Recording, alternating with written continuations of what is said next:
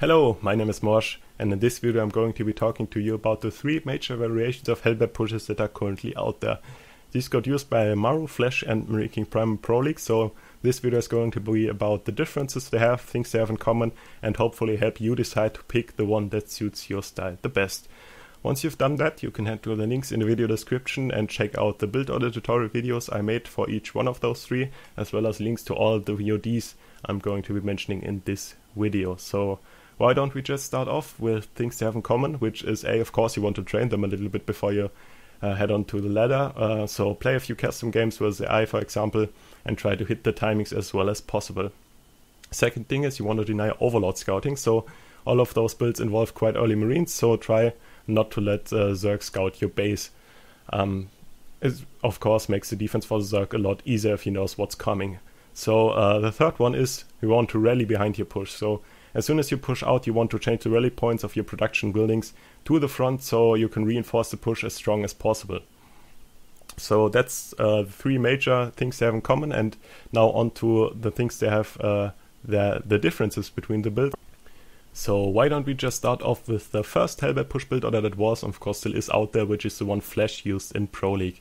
It's done off of a Reaper Reactor Expand, and uh, hits the enemy base around the 8 minute mark with uh, 8 Hellbats, 6 Marines, and a Medivac. 10 seconds later, so around the 8 minute and 10 second mark, two additional Medivacs with 2 Marines uh, are joining the fight, so you will have then 8 Hellbats, 8 Marines, and 3 Medivacs. But this build is only done off of 23 SCVs at the 8 minute mark, so the economy is quite bad, but of course the push is quite strong, as we've seen in Pro League. Um, the second variation is the one Maru used, uh, also in Pro League, which is done off of a one Marine uh, Reaper reactor expand. So you will have one early Marine to deny overlord scouting, and then have the Reaper to get uh, scouting information yourself. Um, his push hits around the 8 minute and 30 second mark with 9 Marines, 8 Hellbats, and a Cloak Banshee. There's also a slight variation, which I'm also showing in my build order tutorial video, which uh, hits around the 8 minute mark with 5 Marines, 8 Hellbats, and a Cloak Banshee. So 4 marines less, but hits 30 seconds earlier. So this is the, the Maru variation, and now onto the Marine King Prime variation, with, which is done of a CC first. It uh, hits around the 8 minute mark with uh, 6 Hellbats uh, and 4 SCVs for repairing those Hellbats, uh, 3 Marauders, and 4 Marines with Stim.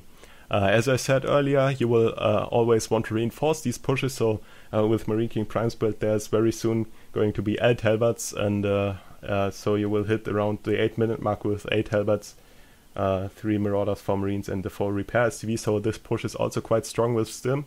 And uh, this, as well as Maru's build, are done off of a decent economy of around 33, 34 SCVs at the 8 minute mark, so you can transition into a macro game with them, which is quite difficult with the flash variation. So now I'm going to be talking a little bit about transitions and of course we'll start off again with Flash's build which doesn't transition too well into a macro game. So what he does behind the push is getting stim and then probably getting additional barracks. So you do, do the push and uh, try to continue pushing. You have already three medivacs out so produce additional bio produce additional hellbats and try to kill your opponent with them.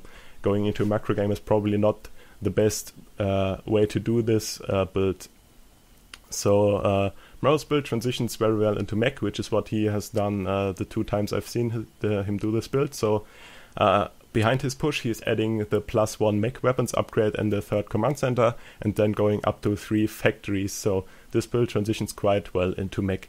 Um, Marine King Prime's build with Stim already done transitions quite well into a bio macro game. So while he is pushing, he adds combat shields and goes up to three barracks then gets his starport from Medivacs, double engineering bay, and the third command center. So you can still play quite a decent macro game with your third uh, command center starting around 10 to 11 minutes. So it's not too bad. So this build transitions quite well into bio.